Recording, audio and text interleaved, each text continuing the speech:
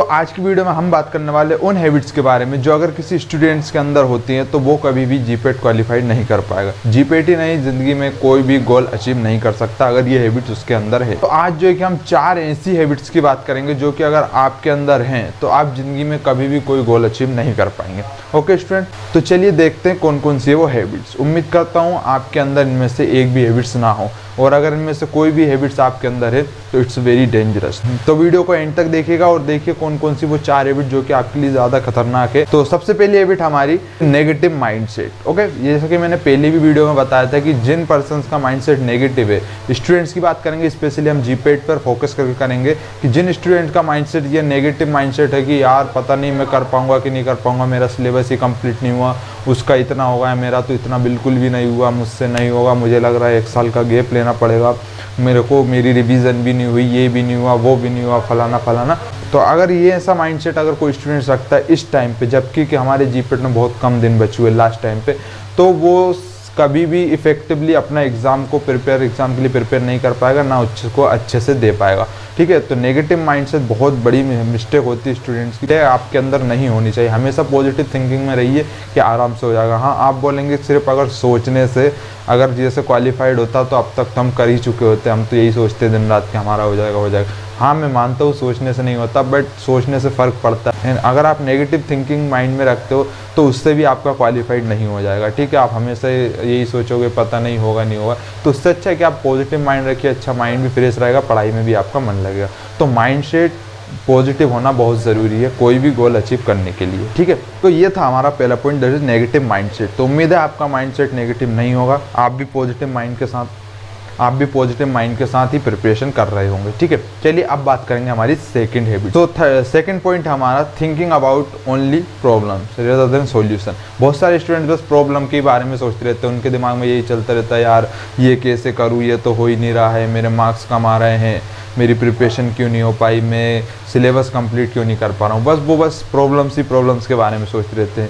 ये नहीं देखते कि यार चलिए मेरे मार्क्स कम आ रहे हैं तो उनको इम्प्रूव कैसे करें? सोल्यूशन का हल नहीं ढूंढते। बस प्रॉब्लम में ही अपना दिमाग घुमाते रहते हैं। तो ठीक है कि यही नहीं सोचते कि यार अगर मार्क्स कम आ रहा है तो किस तरह से उनको बढ़ाया? जाए सिलेबस कंप्लीट नहीं हो पा रहा। मेरी रिवीजन कंप्लीट नहीं हो पाई तो किस तरीके से मैं टाइम टेबल मैनेज करूँ कितने दिन के अंदर मेरा सारा जो है कि रिवाइजन रिवीजन हो जाए? है ना? तो सोल्व प्रॉब्लम सोल्विंग के जगह पर वो ओनली सिर्फ़ प्रॉब्लम पे ही फोकस करते हैं, ठीक है? तो ये बहुत खतरनाक हैबिट होती है स्टूडेंट्स आपको ज़िंदगी में कभी भी आगे बढ़ने के लिए ये जो आपकी हैबिट है प्रॉब्लम पर फोकस करना सोल्यूशन के अलावा तो वो बहुत ही ज़्यादा प्रॉब्लमेटिक होने वाली है। तो इससे अच्छा प्रॉब्लम पे फोकस करने से अच्छा उसके सॉल्यूशन पर फोकस करो। उस पर ध्यान दो कि इसका सॉल्यूशन किस तरह से निकल सकता है। ये प्रॉब्लम है तो उसके सोल्यू इसको सोल्व किस तरह से किया जा सकता है। ना कि उसी के बारे में सोचते रहो। उससे कोई सोचने से कोई प्रॉब्लम सॉल्व नहीं होती है। ठीक है? तो आपको क्या है प्रॉब्लम पे फोकस करने के बजाय आपको उसके सॉल्यूशन पे फोकस करना। तो ये थी हमारी सेकंड मिस्टेक चलिए अब बात करेंगे हमारी थर्ड मिस्टेक की। थर्ड मिस्टेक हमारी थर्ड मिस्टेक जो कि जनरल स्टूडेंट करते, वो करते हैं कि वो डे बाई डे अपना गोल सेट नहीं करते। हाँ तो बहुत सारे स्टूडेंट्स की थिंकिंग क्या रहती है, जो होगा देखा जाएगा। वो क्या ज़्यादा दिमाग लगाने की ज़रूरत नहीं समझते कि यार किसी चीज़ पर थोड़ा दिमाग लगा के उस पर काम किया जाए। बस उनसे कुछ बोले कि यार ये ऐसा ऐसा करना है तो अरे ठीक है ना यार, जो होगा देखा जाएगा। ये जो माइंड होता है स्टूडेंट जो होगा देखा जाएगा भगवान के भरोसे, नसीब के भरोसे, किस्मत के भरोसे। तो ये सब चीज़ें बिल्कुल बेकार सी है, क्योंकि कुछ भी जब तक आप नहीं करोगे, तब तक कुछ नहीं होगा। और जब आप इस भरोसे छोड़ देते हो नसीब के ऊपर तो फिर वही होता है कि जो नहीं होना चाहिए था। तो आप अपना नसीब एक तरीके से खुद डिसाइड कर सकते हैं, अपने हिसाब से वक्त को, अपनी ज़िंदगी को चलाइए, ना कि ज़िंदगी के हिसाब से कुछ चलिए। तो है ना, ये मत सोचिए कि कभी यार ठीक है, वो तो फेल होना जी पेट में या पास होना क्वालिफाइड होना, नहीं होना, वो तो किस्मत का खेल है, किस्मत में होगा तो हो जाएँगे और नहीं होगा तो कितना ही पढ़ लो, कुछ नहीं होगा और होगा, किस्मत में पास होना तो बिना पढ़े भी हो जाएँगे। तो ये बिल्कुल गलत माइंडसेट है, गलत थिंकिंग है। ऐसा कुछ नहीं होता है जो मेहनत करता है उसी का होता है। बाकी जो इस भरोसे रहता है कि ठीक है नसीब का खेल है सब ऐसा तो वो उसका कभी भी क्वालिफाइड जीपेट या कोई भी गोल उसका अचीव नहीं हो पाता, ठीक है? तो आपको कभी भी मुकद्दर के भरोसे, नसीब के भरोसे और ज़िंदगी के भरोसे नहीं रहना है। मेहनत करनी है, मेहनत करने वाले को ही सफलता मिलती है ज़िंदगी में, ठीक है? एक तरीके से मोटिवेशनल वीडियो की तरह हो रही है बट ये स्टूडेंट्स ये सच्चाई है, ठीक है? आपको लास्ट टाइम का भी जैसा कि आपके जीपेट एग्ज़ाम में बहुत कम दिन बचे हुए हैं, पंद्रह दिन के लगभग बचे हुए तो इस टाइम पर आपको सिर्फ़ मोटिवेटेड ही रहना है डिमोटिवेटेड नहीं होना है, उसके अलावा नेगेटिव थिंकिंग माइंड में लेके नहीं आना, अपने दिन को प्लान करके चलना है पूरा, कि मेरे को आज एक दिन है, मेरे पास तो मैं आज क्या क्या पढ़ना है, मुझे क्या क्या नहीं, भगवान भरोसे नहीं छोड़ना, ठीक है?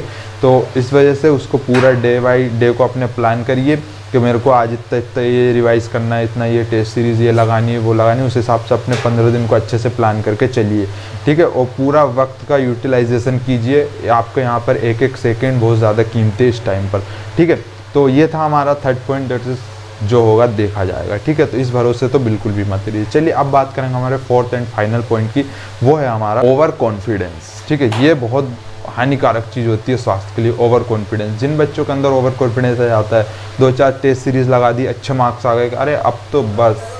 अब तो कर डालेंगे, अब तो हमें सब कुछ आता है। तो इस तरह का ओवर कॉन्फिडेंस में बहुत सारे बच्चों का जो है कि नुकसान हो जाता है। ओवर कॉन्फिडेंस बहुत ही बेकार चीज़ होती है। कॉन्फिडेंस एक लेवल तक अच्छा रहता है बट ओवर कॉन्फिडेंस जिसको हो जाए ना, वो डूबता ही डूबता है। तो आपके दिमाग में कभी भी ओवर कॉन्फिडेंस नहीं आना चाहिए। आपकी प्रिपरेशन जितनी अच्छी, जितनी आप इस टाइम पे ज़्यादा प्रिपरेशन करोगे ना, उतनी आपके लिए कम है। क्योंकि क्वालिफाइड होना कोई ज़्यादा मुश्किल काम नहीं है। रैंक लाना मेन काम है। तो आपको अच्छी रैंक से पास होना। सिर्फ़ क्वालिफिका क्वालिफिकेशन का टारगेट नहीं रखना, आपको रैंक का टारगेट रखना है कि मेरे को अंडर हंड्रेड इसके अंदर आना है या टॉप टेन के अंदर आना है। इस तरीके की आपको माइंड सेट रखना है। ठीक है?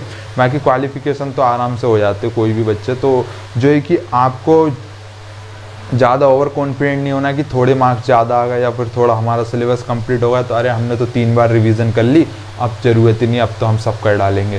ठीक है तो इस तरीके के ओवर कॉन्फिडेंस मत रखिए एक एक टाइम का एक एक मिनट का पूरा यूटिलाइजेशन कीजिए, उसका यूज़ कीजिए।